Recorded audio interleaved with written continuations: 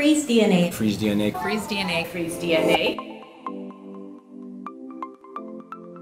The kids did an awesome job. They were confident in what they were drawing because he gave them step-by-step directions.